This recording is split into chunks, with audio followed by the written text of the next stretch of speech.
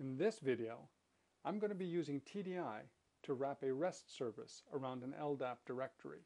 Now, this assembly line is available for download. There should be a link uh, in the description of the video itself, as well as on the tdi-users.org site. Now this approach can be used to service enable any type of system or data store, and the payload that you return can be in some XML format like OSLC, could be Atom RSS, it could be JSON or CSV or whatever you want. It's just up to you to format that payload that's going back to the client. So to see how this thing works, let's just start it. And once my server connector is listening to port uh, 8080, let's open a browser and make a request.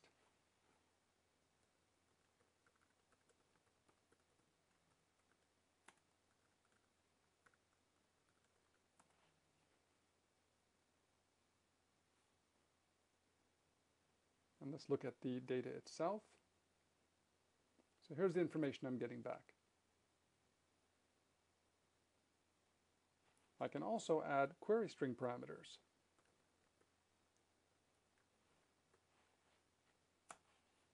And that'll be applied as a search filter to my assembly line when it's querying this information from the directory. So let's look how this is done.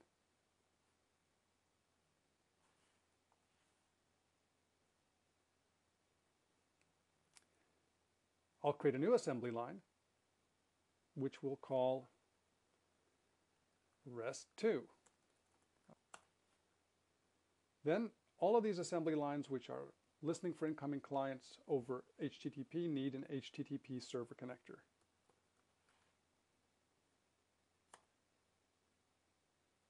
I'll set up my input map to return all the attributes I get from the client request and my output map to map back to the client any data that I have in my assembly line, in the work entry. Now the connector itself will only take those attributes that are prefixed with HTTP dot, because those will be the header properties going back. And then in the connection tab, I decide which port this is going to listen to. So we'll choose 81 this time. Now I can test this very quickly by adding a dump entry. When we run it now, and the connector is started and it's listening, if we change our request to 81, our assembly line will be getting information back. So I've gotten two requests. I've gotten the second request is for favicon. I can see that when I look at the HTTP base. The first request is the one for the collection people. And it also contains, okay, let me go back up here again. It also contains my query string. That's parsed out as an attribute, http.qs. and the name of that argument or that parameter.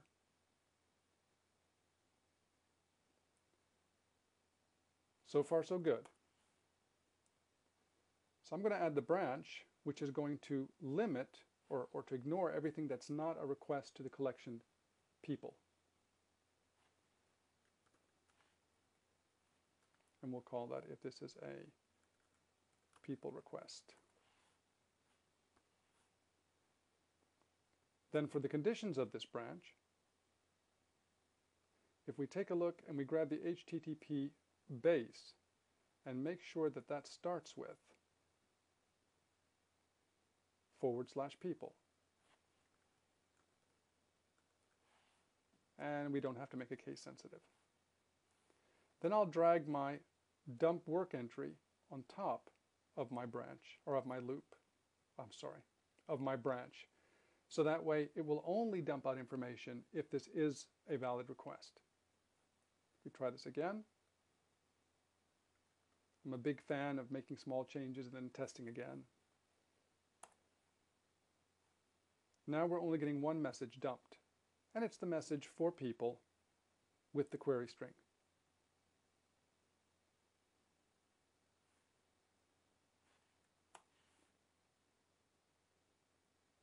Now, in the case that this is a valid request, I want to get out that query string. I want to apply that as a, as a uh, parameter or a filter to my connector. But I'm going to go ahead and add my connector, my LDAP connector, and I'm going to put that in a loop. Because it'll be returning multiple based on the search filter, multiple entries. And we'll call this one for, uh, for each person found in LDAP. Then we'll choose the connector that we want, and I'll use the standard LDAP connector.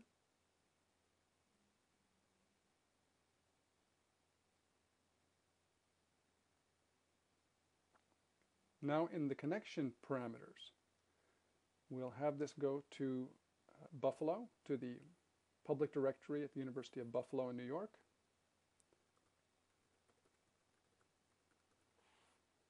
I'll be going in anonymously here. And let me just search for which of these search bases are available for me, and I'll use the first one. Now I can go to my input map and test my, my parameters that I'm actually be returning data.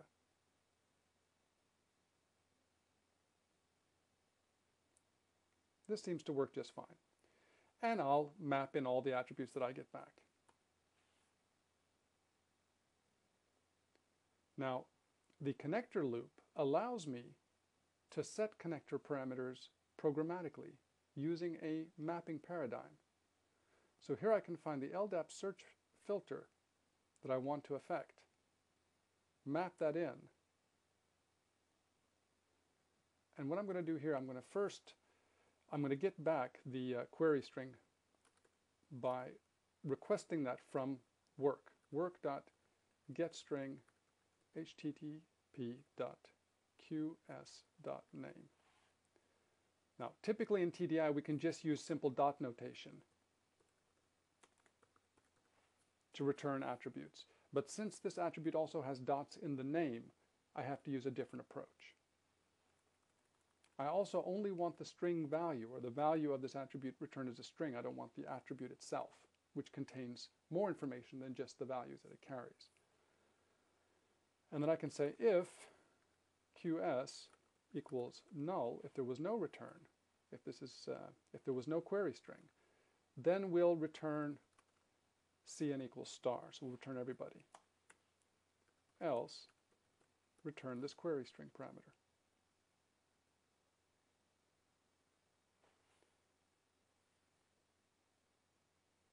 Now I'm going to drag this one on top of my for loop or my connector loop. And now it will be displaying to the log those people that it finds. So again, let's just test this.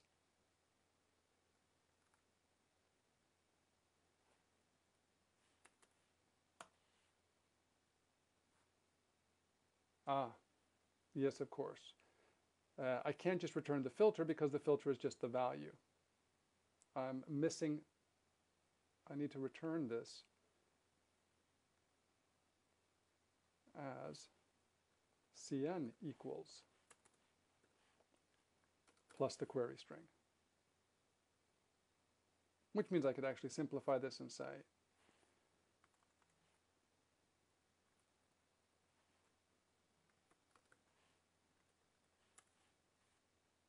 So if the query string is null, I set it to star, and then I construct my search filter. So one more test and I'm going to have to stop my previous run. Otherwise, I can't start another assembly line which will be listening to the same port.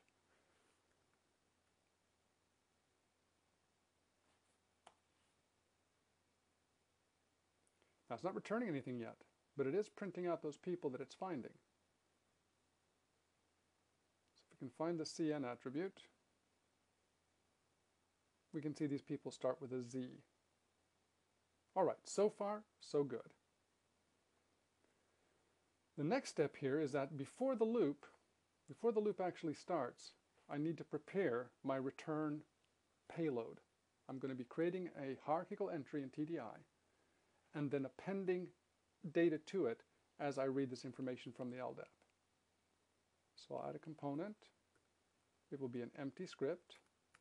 We'll call this init. and this needs to be before the loop itself. So in this loop, I'm going to maintain a count. I'll just set a count equal to zero, and then I want an XML entry, or a return entry, equals system new entry.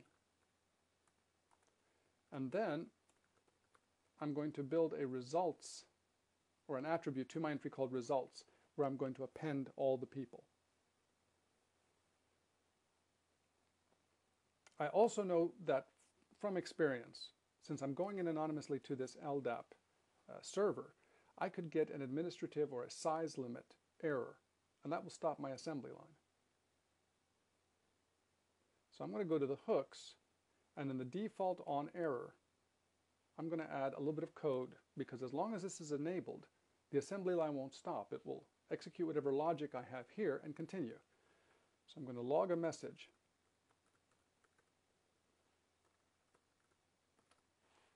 and then I'll print out the error message. Error is another entry object that TDI provides in the case of an error, and it contains a number of attributes like the connector name, the operation that was being done, uh, and in this case I'm using the message itself. We do want to exit the loop though.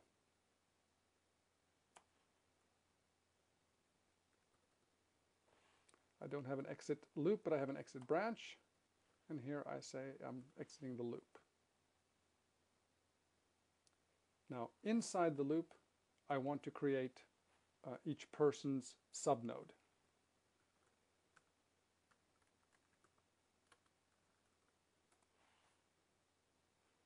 So I'm going to start by making a person attribute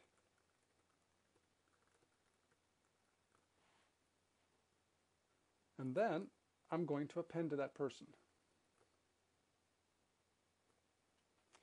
I want the nodes in my XML to be called person, and I want them to have an attribute, which is the name. And I do that by prepending the name of the attribute with an at symbol, or uh, an ampersand.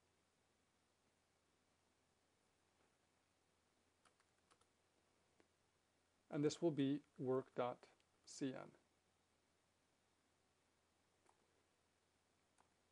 and then we'll have person dot title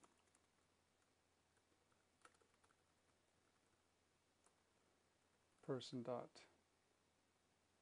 uh, type will be work dot uh, affiliation code and person dot I'm not sure what we'll call this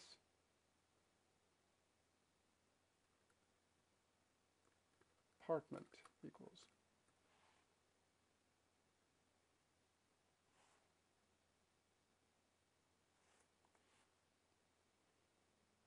And then I need to append this to my return entry person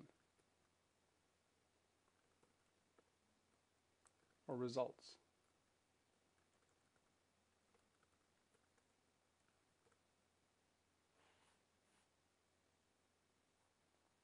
And I also want to increment my count.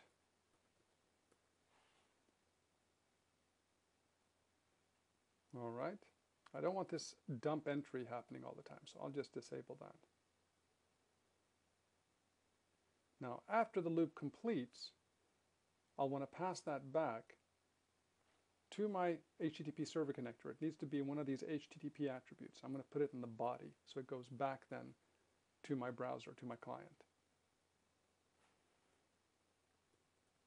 And I'll use an attribute map to set return body.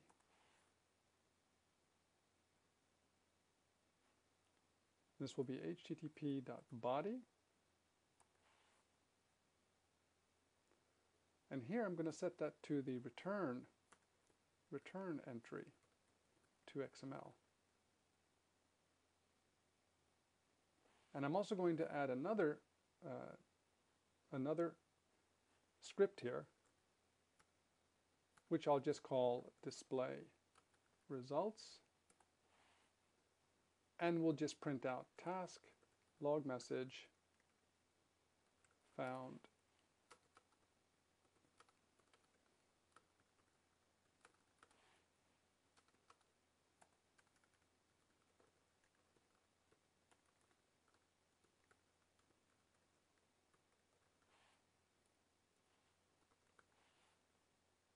just to print out the results.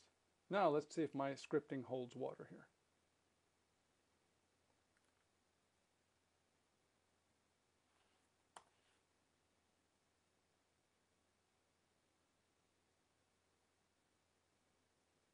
It's not quite working like I wanted to because I'm getting these strange quotes here. Let me just make sure that I'm returning or I'm setting the name using the person's name. It looks like I've returned an attribute because I get quote, the name of the attribute, and this is all being encoded for XML, and then colon, and then the value. And that's the way an attribute in TDI turns itself to a string. Well, I don't want that. I just want that value. So let's go back to TDI, stop our assembly line, and when we add that person, I won't just say work.cn. Here I could say work.getStringCN, or I could use the attributes get value. Get value allows us to step through the multiple values that an attribute may hold. If we call this method with no argument, then it means return the first value and return it as a string. So it would be just as doing a uh, work.getString cn. Works the same way. We just save that with Control S. We'll run again. And then reissue the same query.